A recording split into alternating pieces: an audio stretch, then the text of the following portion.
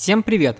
Давайте сегодня поговорим про полицию, а именно, сколько получают полицейские в США и в России. На заработную плату полиции в России влияет многое. Это звание, должность и выслуга лет.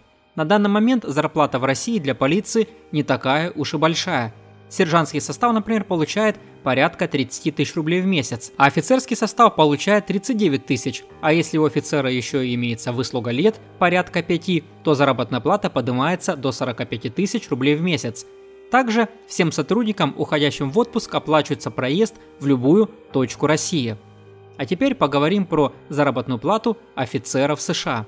В США все намного лучше, поэтому там служба считается просто престижной. По данным Бюро полиции, средняя зарплата сотрудника полиции в США составляет примерно 4000 долларов в месяц. Патрульные офицеры получают 5000 в месяц, следователи – порядка 10 тысяч в месяц, а транспортная полиция 5 тысяч долларов в месяц. В год средняя зарплата полицейского составляет более 40 тысяч долларов а в России в год в среднем 500 тысяч рублей. А как вы считаете, справедливая ли зарплата у сотрудников полиции в России и в США?